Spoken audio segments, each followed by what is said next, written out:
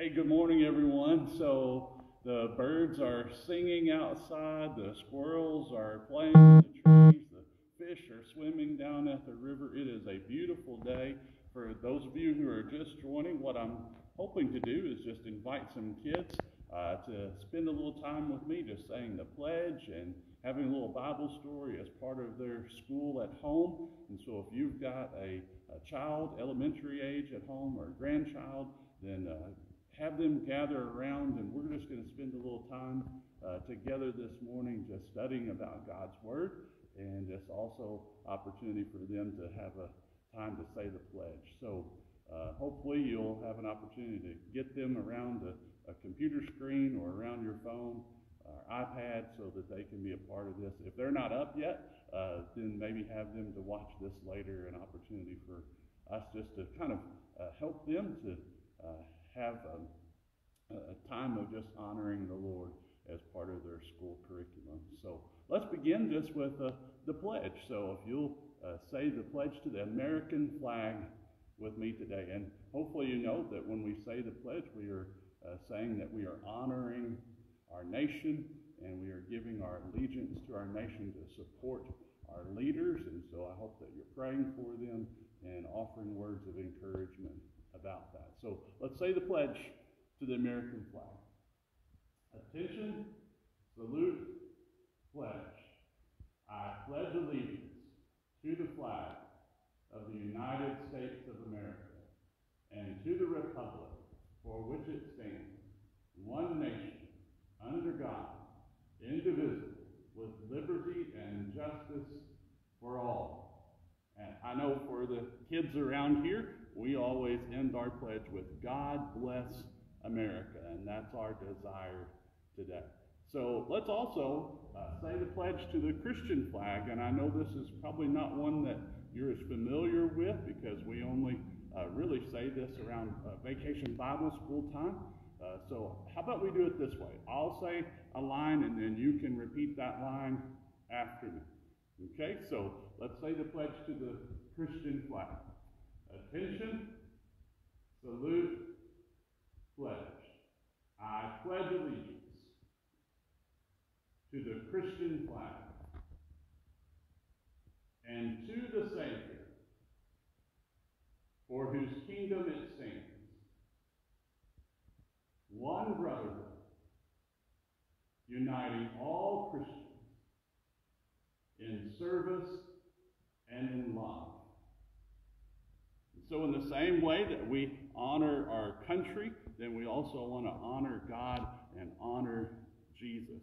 I know that there are some versions of that pledge that say one Savior, crucified, risen, and coming again, just to remind us that God is always with us. So then there's also one more pledge, and that's the pledge to the Bible. And so I hope that you'll also say this pledge as we honor God's word today. And again, this one might not be one that you remember, and so I'll say a line and then you say it after me.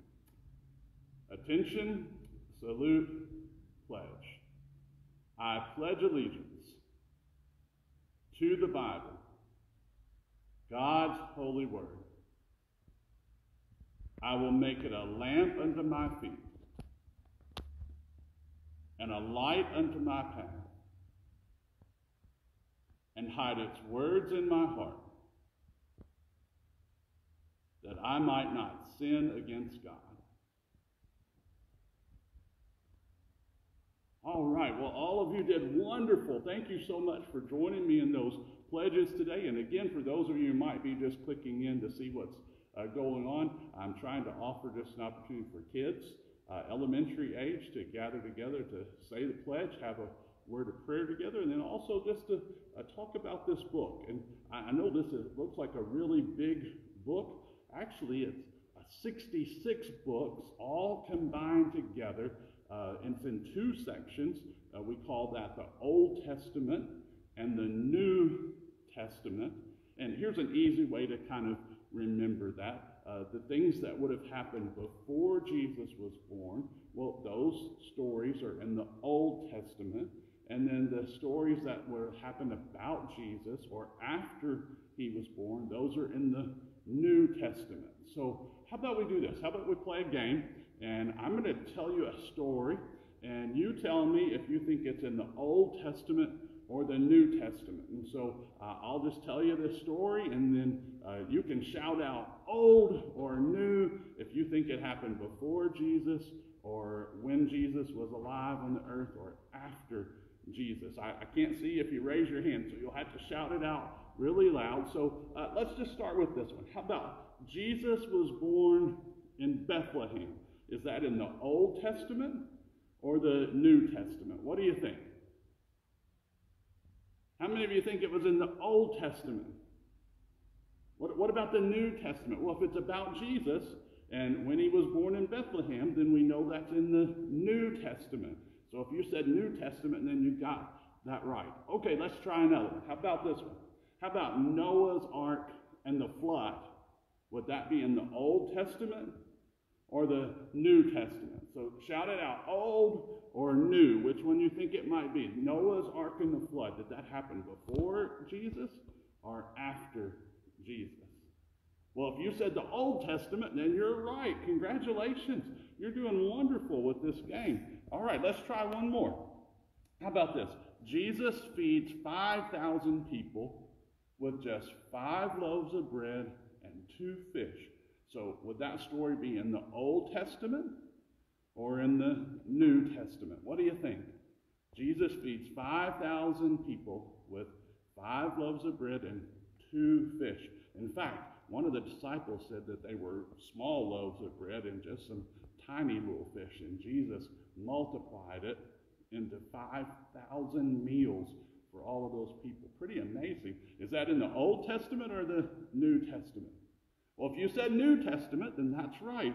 The, the gospel writers tell us about Jesus feeding the 5,000 people with just that little boy's lunch. Isn't that amazing that Jesus would do that great miracle? Let, let's try this one. How about Daniel and the lion's den?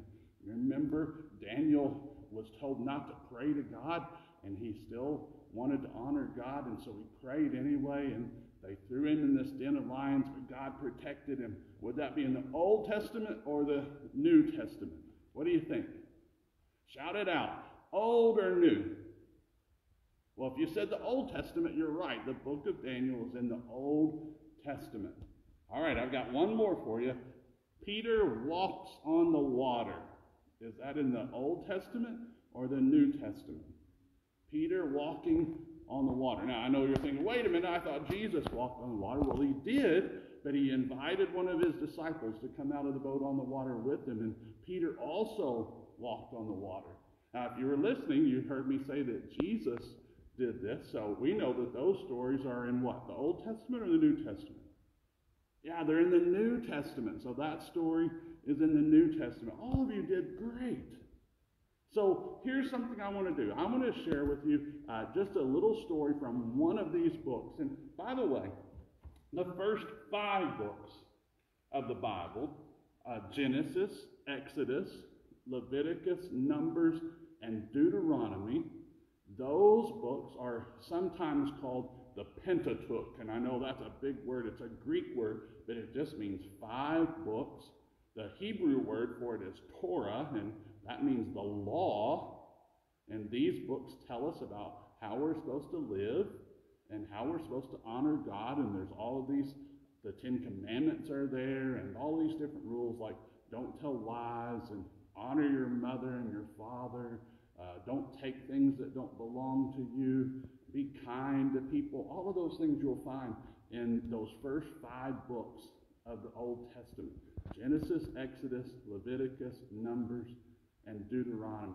Now, I have an easy way that I like to remember what each of these books are about. So, the book of Genesis, this word right here, it means beginnings. And so, the book of Genesis is a, is a book of beginnings. It tells us about the beginning of the world and the beginning of all the plants and animals. It tells us about the beginning of man. Uh, tells us about all of these things that happened in the beginning. In fact, the very first words in the Bible are in the beginning. Well, that's a really good way to start a book, isn't it? With the beginning. So that's what this book is about. Then the next book is Exodus, and it's about the exit. This is when the Israelites left Egypt and went to the promised land. So the book of Exodus, it's about the exit. All right, so what was Genesis about? It's a book of beginnings. And Exodus, it's about the exit. All right, let's go to the next one. Genesis, Exodus. Do you know what the next one is? Yeah, it's Leviticus. And Leviticus is uh, about the Levites. The Levites were the people who took care of the temple. And it also is about how to live right. So the book of Leviticus is about the Levites and how to live right. It gives us some of those rules to follow in order to honor God. All right, Genesis, Exodus, Leviticus. What's the next one? Does anybody remember? Yeah, it's Numbers. And this one's really easy because the book of Numbers, well, it's about numbers. It's about how many people there were and where they lived. Kind of like the census that we're doing right now in the United States. We're counting all the people that live here and where they live. Well, that's what the book of Numbers talks about. All right, one more, and this is this really big word, and it's Deuteronomy. And I like to think that this book tells us about your duty. Now, not your dog's duty. No, this is D U T Y, your duty or how you should do things right. So, this is what this book is about your duty or what you should do. So, those are those first five books, just an easy way to remember that. But I just thought today I might share a story with you uh, from that first book, the book of Genesis. And so I'm going to just open up my Bible, and I want us just to look at the day that God created the animals. And this is in the fifth day and the sixth day of creation. Here's what it says Let the water teem with living creatures, and let birds fly above the earth across the expanse of the sky. So God created the great creatures of the sea, and every living and moving thing with which the water teems according to their kinds, and every winged bird according to its kind. And God saw that it was good. God blessed them and said, Be fruitful and increase in number, and fill the water in the seas, and let the birds increase on the earth. And there was evening, and there was morning, the fifth day. And God said, Let the land produce living creatures according to their kinds, livestock, creatures that move along the ground, and wild animals, each according to its kind. And it was so. God made the wild animals according to their kinds, the livestock according to their kinds, and all the creatures that move along the ground according to their kinds. And God saw that it was good. I, I hope you heard as I was reading this, they kept talking about each animal was created according to its kind. if you talk to your science teacher, then they would tell you that all animals are classified according to their kind. So uh, we need to understand then that God says that He made each animal according to its kind. A worm doesn't become a monkey, and a monkey doesn't become a boy or become a girl. All of these things are fixed within their kind. But here's something really cool that the Bible tells us, and that's the fact that God said that Adam got to name all of the animals. How, many of you have a pet at home? Maybe you have a dog or a cat or a little gerbil or uh, maybe a bunny rabbit or some kind of animal. Anybody have a pet at home? What, what's the name of your pet? Yeah, well, we, we've had several different little dogs as our pets. And one time, my daughter Allison, she decided to name one of our dogs Kitty.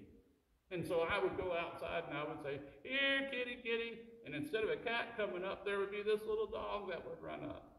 It was kind of funny. So maybe you find this really interesting. Nowhere in the Bible is there any animal that has a pet name. Nowhere at all. it always just talks about monkeys or uh, bears or lions, but it never gives them a name. I, I thought that was really kind of interesting, but God said that Adam could name all of the animals. And so God brought the animals to him, and Adam got to decide what to call them. I, am thinking if I had seen a giraffe, I might have called it a long necked horse instead of a giraffe. Or uh, if I'd seen an alligator, I might have uh, called it a see you later gator, because I don't know if I'd want to stick around to see if an alligator liked its name or not. So all these things Adam decided to name. But here's the really neat part. Even though the Bible doesn't give any animal a name, a pet name, the Bible actually says that God knows your name. He says that He loves you, that He knows you personally, and that He's going to watch out for you. And so I just want to pray for you today and just know that God knows your name. Dear Jesus, I pray you be with each of these boys and girls as they're uh, trying to do their schoolwork from home. Lord, I pray you protect them and their families. I pray that you just give them a fun day and a blessed day and that you would watch over them in a mighty way. Thank you for knowing our name.